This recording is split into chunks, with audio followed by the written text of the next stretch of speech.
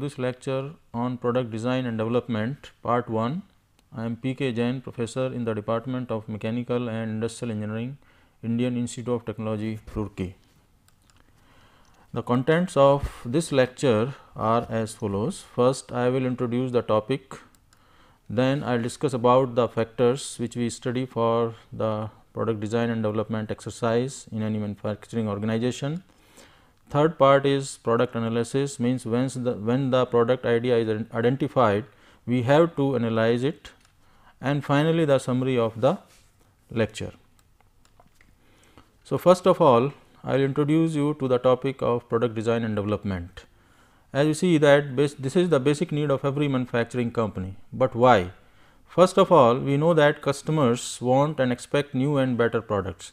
They want new and better products uh, which are good looking, which are technically superior than the other products available in the market and which are low cost.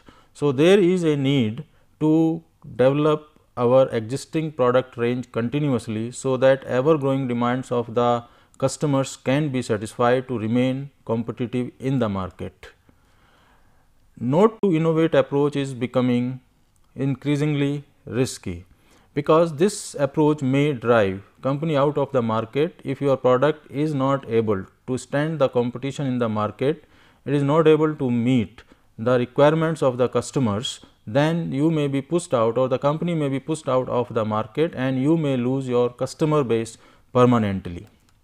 So, we can say that innovating new product is expensive and risky.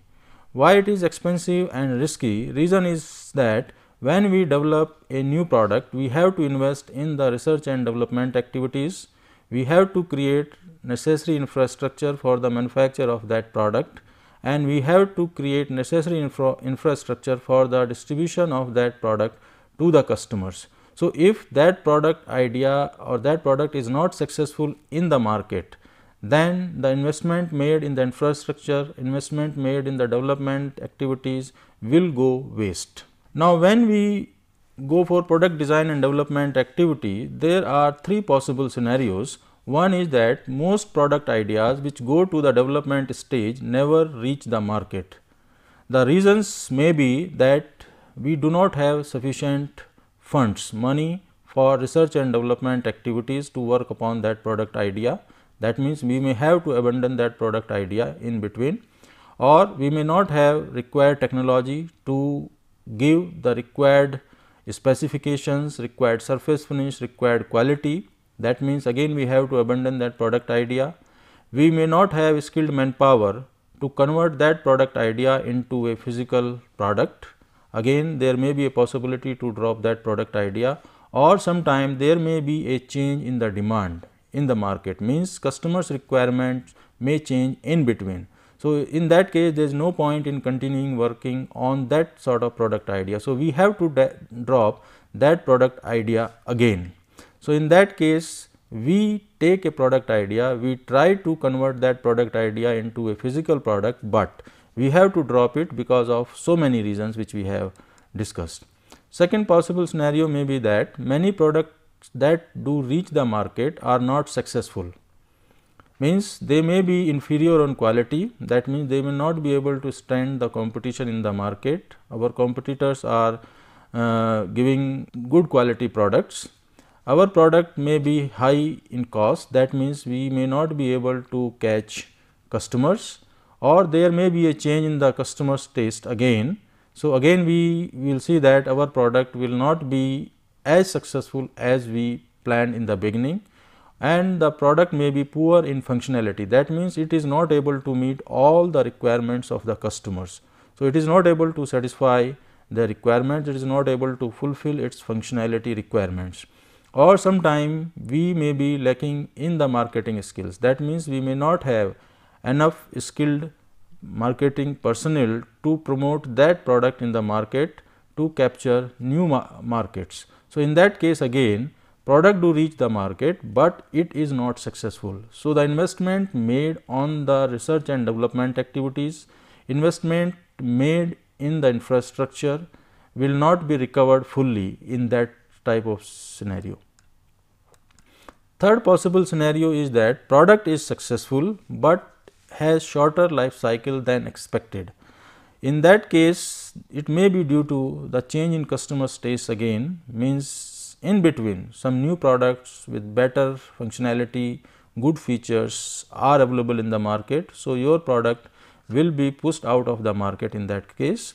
There is a change in the technology means superior technology has come so, in that case your product may not stand the competition. For example, say in case of computer technology, in case of consumer electronic items, in case of you can say mobile sets or any such area where technology is change, changing at very rapid pace. So, there may be situation that product has shorter life cycle than the expected or the planned in the beginning or there may be a reason that there is a stiff competition in the market and we are not able to stand that competition.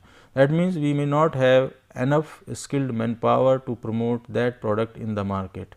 So, in that case we may be driven out of the market in between and again we may not be able to recover whole investment which we made on the development activities which we made on creating the infrastructure for the manufacture and for the distribution of that product.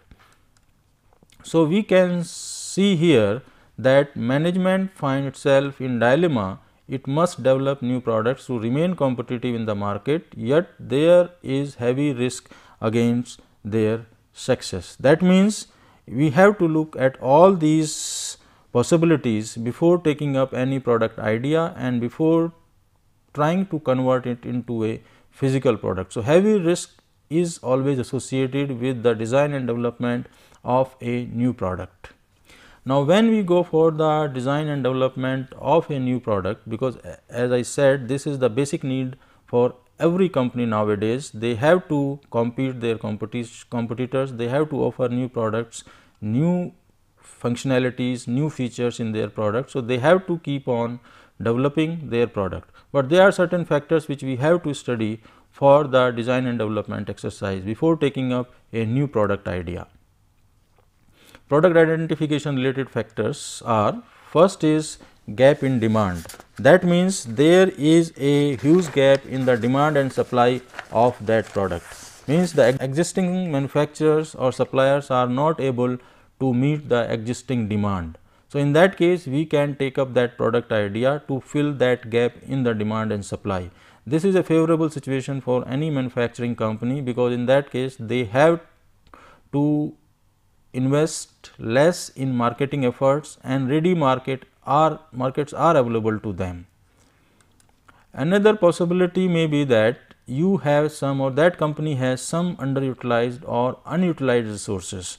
So, in that case they may look for some other manufacturers who may use those resources. So, basically idea here is to make existing resources fully utilized. So, in that case we can go for contract manufacturing means we can take some contracts from other manufacturers and manufacture their requirements or their products in our organization by utilizing these underutilized resources or we can lend our facilities to some other manufacturers.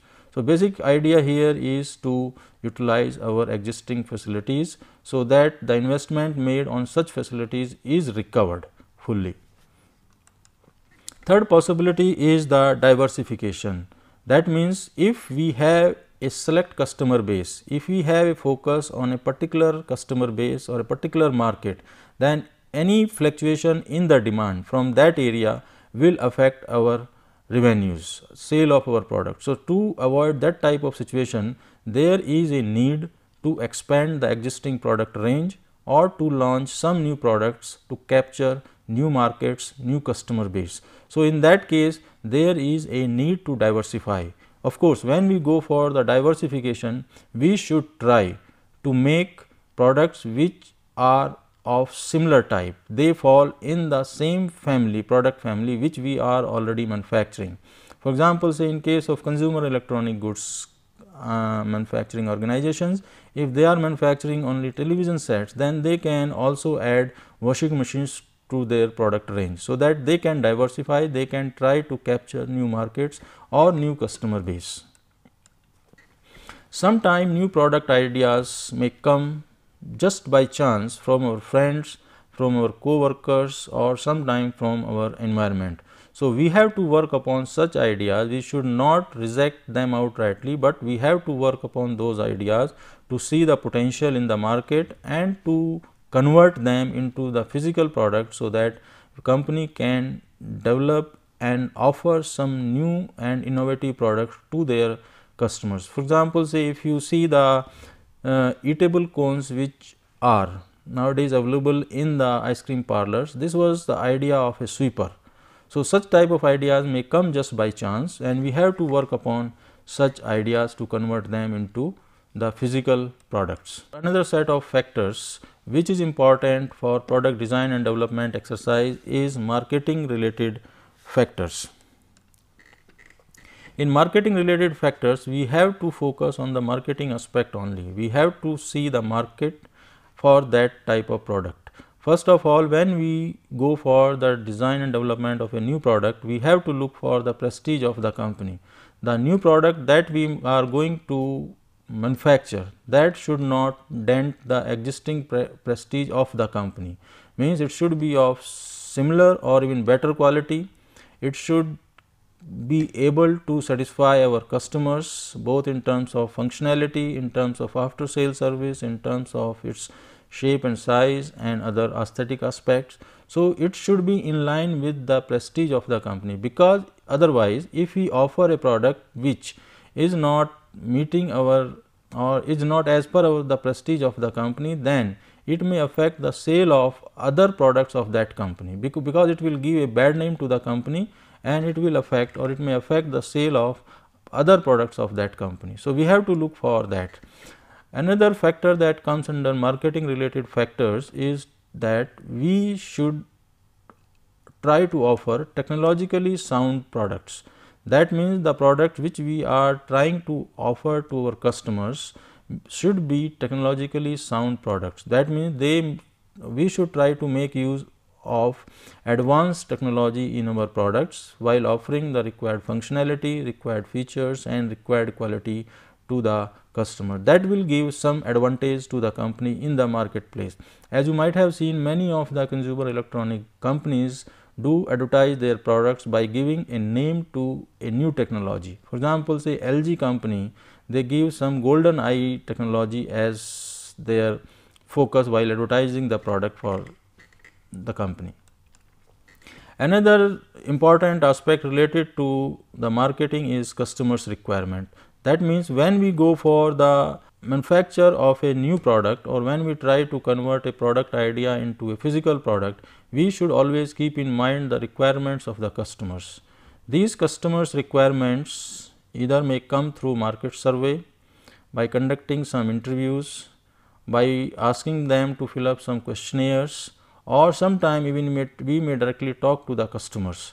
So, first of all we get a set of requirements of the customers, a large number of customers and then those requirements are converted into the technical specifications which are required to meet those those requirements. And finally we have to design a product which can satisfy those functions those requirements. So here customers requirement are of prime importance.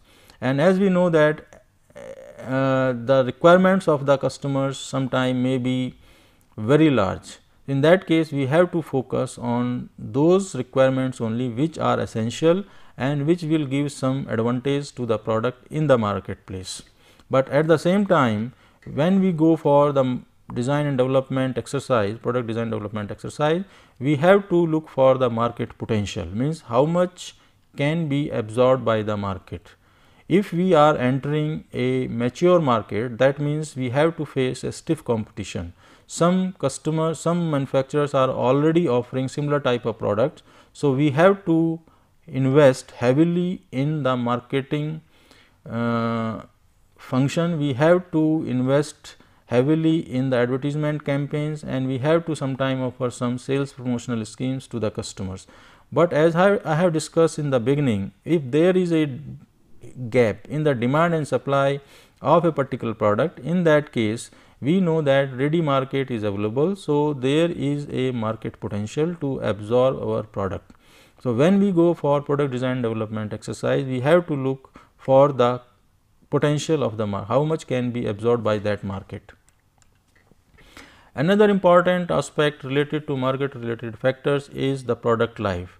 When we talk about product life that means life of the product in the marketplace that means how long that product will be or will remain successful. Let us take this uh, graph which shows the product life cycle graph sometimes we call this as inverted bathtub curve. In this we consider different stages of product life cycle. First stage is the introduction that means part is introduced to the market and demand is very less, but slowly demand will pick up and this is the second phase that we define as growth phase. So, demand is increasing continuously reason is simple that our product is new it has some new features, new functionalities and maybe better quality product. So, that is why there is a continuous increase in the demand. The third stage is the maturity stage that means product has reached its maturity stage. So, here in this third phase demand of the product remains almost same stable. So, we can say that product has reached the maturity stage and demand is same or will remain stable. There is one more stage that we define a decline stage or decline phase. Here demand of the product will decrease continuously after third phase. Reason is simple that product may have become outdated, better and good quality products may have been made available by the competitors. So, demand of the product may go down and slowly it may be phased out of the market.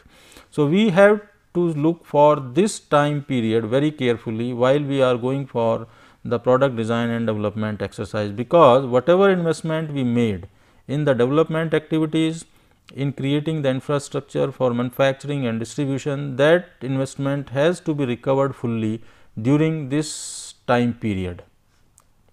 And this graph can be divided into two life cycles. One is early stages of product life cycle and second is later stages of product life cycle. So, we can say the facilities and process investment which we made in manufacturing that product solely depends on the life cycle. Longer the life cycle, higher may be the investment, because there is a longer period available to us for the recovery of that investment. Another important factor which is related to the marketing of that product idea is the competition in the market. As I said before during discussion on market potential that we have to face sometimes stiff competition in the market. If market is mature naturally similar type of products are offered by many other competitors, many other manufacturers. So, we have to meet the quality standards, we have to meet the functionality standards and we have to offer the new and better features to the customer. So, in that case we have to focus on the competition and sometime to beat this type of competition we may have to offer some sales promotional schemes like buy one get one type of schemes to make our product successful in the market. So, but that depends only on the capabilities of the marketing department, marketing personnel, how do they market that product idea to the customers. Another set of factors which we have to study for product design and development exercise is legal factors because we know that when we go for the manufacturing of any product we have to sometime take some clearances from the government. There are some rules and regulations which we have to abide by. One of them may be related to the environment pollution. This is particularly true in case of process industries where we have to take no objection certificate from the pollution control board so that we can start manufacturing of that product. Another legal factor may be related to some important import restrictions on capital goods. So, if we want to import capital goods related to the production of uh, defense related uh, products or the products related to the national security. So, in that case government may not give us approval or permission to import such type of goods. So, we have to look for such type of restrictions while before going to the product design development exercise. Another may be sometime there may be restrictions on the finance that if we are going for this type of product then we have to keep our finances below this limit because some uh, industries have been uh, categorized as small scale industries or kutir udyogs where that type of industry we can say can be uh, established or started by having a fixed or, or low amount of investment. So, such type of restrictions are there and we have to abide by these restrictions. We should not violate any of these restrictions. So, all the legal factors or legal aspects related to the production of that product should be taken into account while taking a new product idea. Another set of parameters or the factors which is related with product design and development exercise is related with the finance. One of them is that we have to look for the capital investment Capital investment as I said before we need for the creation of manufacturing resources for buying the plant and machinery to convert that product idea into a physical product. So, we have to see whether sufficient funds are available for creating that sort of infrastructure or not. Another factor which is related here with finance is that cash generation means we have to generate sufficient cash for the purchase of material, for the purchase of other resources and there may be several options which are available for the generation of cash. One may be from government means government support that another may be in the form of some shares which may which we can offer to the customers or to general public. And then third may be the fixed deposits. Again this will come from the public. They will deposit their money. We will offer them fixed rate of return. So, all this we have to take care of while generating the cash. So, when we go for finance related factors first and most important thing we should focus on is that the sufficient money or funds should be available for that product idea for the creation of the manufacturing resources for buying the new equipments and machinery and for the investment on the research and development activities. If sufficient money sometime is not available, then there are several options to generate that capital or sometime there may be some borrowings from the market from other companies or from the banks or like that.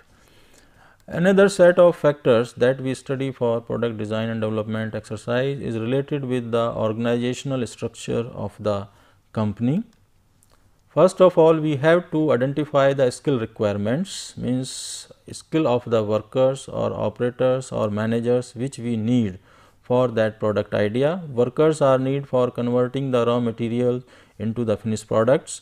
Managers are required to plan the whole company or the plant.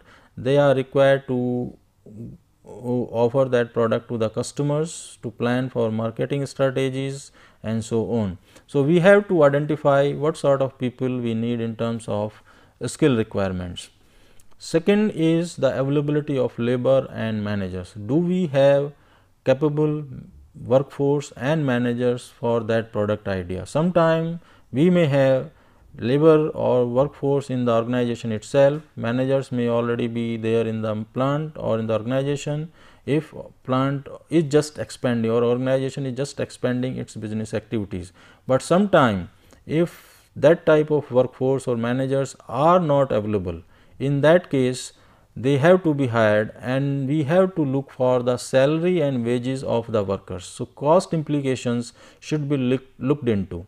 So, sometime if availability is poor or we do not have enough workers and managers then we have to hire them and in that case cost will come into picture. So, cost of manpower or cost of creating that organizational structure should be taken into account during product design and development exercise. But please keep in mind that if we are starting a new product, if we are starting a new plant, then only this factor is more important. Otherwise, workforce and uh, capable managers may be available in the plant. Only thing is that they may have to work on new product ideas or some new technology. Another set of factors which is important for product design and development is manufacturing related factors, because we know that for any product idea or for any output of any organization, raw materials or inputs have to pass through a transformation process. That transformation process is nothing but a value addition process. So, some values are added to the raw material to make them sellable. So, that by selling that those products and services to the customers, we can generate revenues for the organization to run our operations. First uh, factor that is important under this heading is availability of technological know-how, its cost and related equipments. For example, say if we are taking a new product idea, we may have to use a new technology for that product. So, we have to see whether that type of technology is available in the organization. If it is so that is well and good. If that type of technology is available in the country that means we have to buy it or we have to pay some sort of uh, fee to the developer of that or technology or sometime if that technology is not available in the country even then we have to import that type of technology. So, all this has to be looked into cost and the related equipments which we need to make use of that technology. Another factor that is important here is cost of manufacturing facilities that that means the cost of manufacturing infrastructure, manufacturing resources, equipments, machines, inspection devices, material handling devices. So, we have to estimate all this cost. Another important factor here is the quality of manufactured product. That means, it is mainly governed by the customer's requirement. So, whatever we manufacture that should meet the quality standards because if we are working in a competitive environment then we have to see the quality of the products offered by the competitors and sometime we should try to improve upon that type of quality. So, whatever manufacturing resources we create or which we buy for the manufacture of that product, we should see that the intended quality standard should be met because they are driven by the customers. We have to satisfy customers requirements in terms of quality. Another important factor here is the rate of production that means the rate of production should be in line with the market demand. As we have seen earlier that if we are going or we are operating as a mass production environment then normally the rate of demand is very high. So, the equipments which we select should be able to give us very high rate of production. But if we are operating as a batch type of manufacturing environment in that case, we manufacture a small quantity of the identical items. So, in that case rate of production is not that high.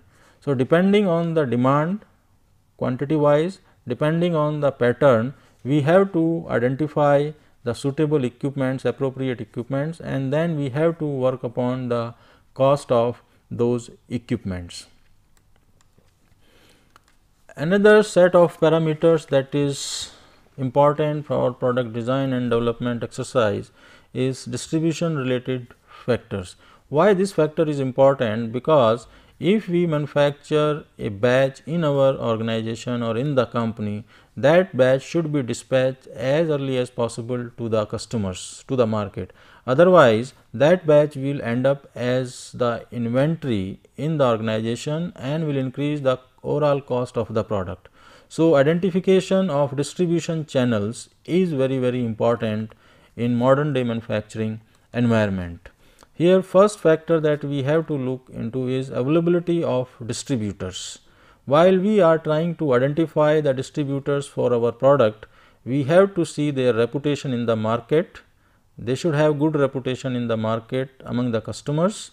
They should have good infrastructure in terms of facilities because these distributors sometime are responsible for offering after sales service by supplying the spare parts to the customers and they should have able managers and sales personnel to promote that product in the marketplace.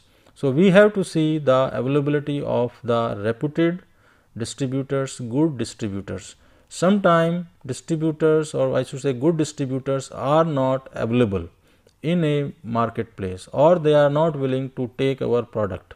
So, in that case we have to create our own distribution centers in such places or we have to convince the existing distributors to display our products to the in their shop in their distribution center and to cater to the marketplace. So, in, in, in, in that case sometime we have to offer them some incentives, some um, discount on the product and so on. Another important factor here is availability of warehouses. When you, we know that warehouses are mainly used for the storage of in transportation products. So, when we are dispatching our products from the company site to the customer, then we have to store them somewhere in between because consignments will go to one place and then it will be distributed among several marketplaces. So, we have to identify the availability of warehouses in that particular region or in that particular market. So, when we go for this side this sort of uh, check we have to see our market requirements how much sorry space requirement how much space we need for the storage of our products what type of facilities we do need for the storage of products. Sometime product may be very sophisticated, fragile type of job product. So, in that case we may need controlled temperature, controlled humidity and so on. So, the facilities should be available for the storage of our product at the warehouse site and as along with that we have to look for the cost aspect means how much will that cost for the company because ultimately that will add to the product. So, this is another important aspect if product has to travel long distances before reaching the customer. Another important factor here is after sale service which is normally very important factor to capture or to grab new marketplace or new customer base. So, and that this fact this function sometime improves customer satisfaction is it also helps in improving the prestige of the company and when we go for after sale service we have to see that there should be trained manpower for the proper maintenance of the products spare parts should be easily available and they should be of low cost. So, this function is very important for the companies in a competitive environment to offer after sale service to their customers. Another important factor related to distribution channels is the sales personnel which are at the disposal of the, our distributors because they are basically the interface between the customer and the company. So, they should have good marketing skills, they should be able to implement sales promotional schemes of the company and they should be able to create a market base in that particular region. Another important step in product design and development exercise is product analysis. Product analysis is performed before actual design starts. That means before we start assigning some technological specifications to the product or before we start making the part drawings of that product, it is important to analyze that product idea. This product analysis is based on the information collected about the customer's requirements and the level of competition. So, when we go for product analysis, we have to look at two aspects what are the requirements of the customers and what is the level of the competition in the market. Because if say requirements are very high, naturally when we go for functional analysis or when we go for operational analysis of the product idea, we have to meet those requirements. Another thing is that if level of competition is very high, our competitors are already offering very good products with lot many features, good functionality, good surface finish and quality. So, we have to improve our quality, we have to offer them as many number of features as possible. So, this is sometime is governed by the requirements of the customer as well as by the capabilities of the competitors or level of competition in the marketplace and the objective of product analysis should be to satisfy as many functions as possible. Though there may be unlimited number of functional requirements of the customers, but we should try to satisfy as many functions as possible in our product. And the objective of product analysis should be to keep product cost as low as possible. So, in this case we have to try to accommodate as many functions as we have discussed earlier in the low cost as much as possible. So, we can say this is a sort of trade off between product functionality and product cost. So, number of functions should be large that are satisfied or that are performed by the product and at the same time the cost of the product should be as low as possible. This is very important in case of a competitive marketplace and when we go for this exercise it focuses on development of multiple product concepts. So, basically before going to the design actual design of the product a number of product ideas or concepts should be developed and presented to the management for their approval. Why this product analysis is important in product design and development exercise? The first reason is that design modifications are more expensive at a later stage of product life. If our product is not functioning as per the design specifications, if it is not able to satisfy customers requirement both in terms of functionality, operationality and maintainability that means there may be some problem in the product design. So, in that case company sometime may modify their designs and ask the customers to go for those modifications or to buy new products. So, and that is not good for the company. Reason is very simple that will dent the prestige of the organization in the marketplace and your customer base may be affected. So, it is not advisable to go for design modifications once the uh, product is launched in the market because sometime you may have to recall the entire batch or entire lot for such type of modifications. Another reason may be that design modifications are when are unwelcome once the product is launched.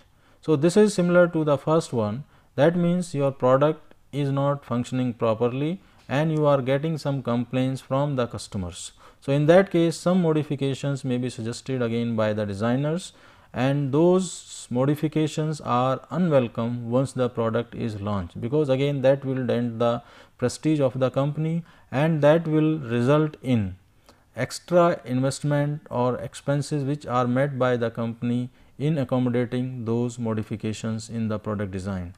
And third possible reason why this analysis is important is that design modifications at later stage of product design and development cycle also delay the launch of a new product. That means, you have already or you have almost designed your product, you have finalized the drawings, but suddenly you find some problems in the design and you go for the design modifications at that stage. That means, you have to redesign the whole product. So, that will again is not good for the company, it will result in some extra investment in the development exercise and at the same time that will also delay the launch of that product in the marketplace. If we are operating in a competitive environment and if similar type of products are manufactured and launched by the custom by the competitors, in that case the delay in the launch of that product will be detrimental to the company's prestige and company may not be able to grab the market market opportunity and they may not be able to grab the new emerging markets. So, we can say that product analysis is very important and here we have to analyze our product idea for functionalities, for operational aspects, for maintainability and for so many other things. So, that when it is converted into the physical product, it has no design problems, no design modifications are required at design stage, at manufacturing stage or even during its use by the customers. Now, additional considerations which are important in this step are the product idea first has to be manufactured and then assembled. Now, here we have to evaluate the manufacturability and assemblability of the product. What we mean by manufacturability that is ease of manufacturing.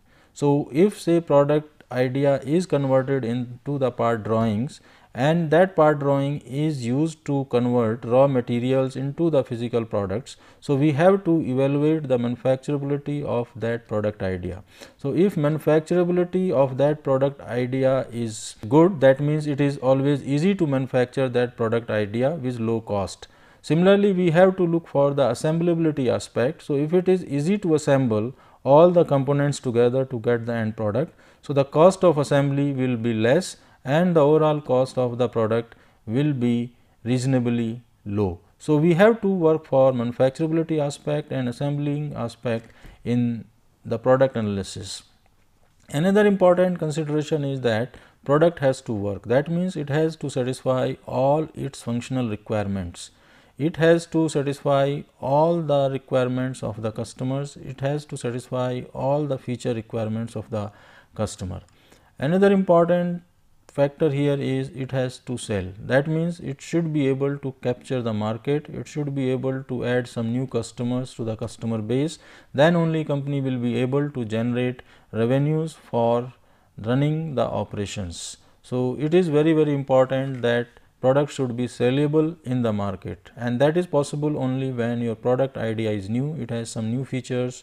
It has good quality. It is low cost. And it has better functionality over the similar products which are available in the market. Sometime to some extent it depends on the marketing strategy of the company, sales promotional schemes offered by the company. So, all this will contribute to the sellability of the product in the marketplace and it must be profitable of course, because if it is profitable only then we will be able to run our operations. So, we have to look at the profitability of that product idea. Now, there are several aspects which are covered in product analysis. One of them is functionality aspect. Here in this aspect, we analyze the functional requirements of the product. Functional requirements come from the customers. These are collected through market survey, through the personal interviews, some questionnaires, etc. These functional requirements are first converted into the technological requirements of the product. Then we convert them into the concrete functions or features that should be accommodated or incorporated in the product idea. So, here we have to go for the functionality analysis that means how many functions must be satisfied to make that product sellable, to make that product profitable and to satisfy as many customers as possible. But at the same time while providing the functions by incorporating the end product, we have to look at the cost aspect also. More about these aspects we will discuss in part 2. Second is the operational aspect that means it is basically related with the ease of operation. So, the product which we manufacture should be easy to operate, it should not require any sort of skill on part of the customer. Sometimes that may be uh, self explanatory notes may be provided with the product, some guidelines may be provided with the product. So, that any user, any customer can operate that product in varying conditions. So, operational aspects are also analyzed in product analysis. Another aspect that is important is quality aspect. When we talk about quality that means it is a relative term and we say our product is better than the other products available in the market. So, we define a sort of quality of our product. When we talk about quality, we talk about cost of quality that means the investment incurred in providing that quality in meeting that quality standard. Second is the value of quality that means the return which we get on that quality and second is that or the third one is the rate of failure of the product because if quality of the product is very high. So, naturally the rate of failure of the product will be very less. So, we have to strike a balance between cost of quality, value of quality and rate of failure while deciding about the quality standards and of course, here inputs from the market are very important because we have to collect information about the quality standards offered by the competitors in the similar products available in the market. Another important aspect to be covered in product analysis is reliability analysis. Our product should be reliable enough to perform its intended function over a period of time. Reliability is defined as the probability of success over a period of time. So, we have to look for the reliability of the product as a whole. We have to look for the reliability of all components and subassemblies which go in the end product and then we have to decide a reliability for the end product and warranty or say to our customer that this is the probability or reliability of product to serve its intended purpose over a period of time. Please remember when we talk about reliability, we always assume that product will be operated as per the instructions given in the operation manual of the product. Another important aspect is durability aspect, how durable and how dependable our product. So, it is sometime very important if we do not use that product regularly. So, sometime we define as the shelf life and active life of the product. So, that product should be durable and dependable. More about these we will discuss in part 2.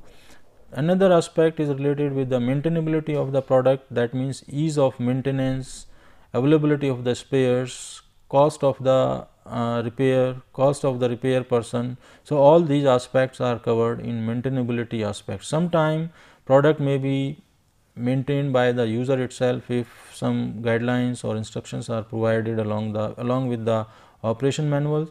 Sometime you have to go to the repair person. So, all this is covered in maintainability aspect and last is the aesthetic aspect that means how that product looks, how is the texture of that product, what is the shape and size of that product, what are the dimensions of that product, what are the surface finish of that product, form of the product. So, all these aspects are covered in the aesthetic aspect. Sometimes packaging of the product is also very important in case of toys, in case of fashionable goods. So, all these things we have to cover in aesthetic aspect. So, we see that product analysis, product analysis is not just to uh, evaluate some product ideas, but to convert the requirements of the customers into a part drawing into a set of set of specifications which are further used to convert raw material into a physical product. Now, there are few things which we or few options or few strategies which we use for the design evaluations. Once the design is available, then we have to evaluate it. There are three possible measures which we use for that purpose. One is binary measure means 0 1 type of rating of the product ideas. If it is given 0 rating that means that product idea is rejected outrightly.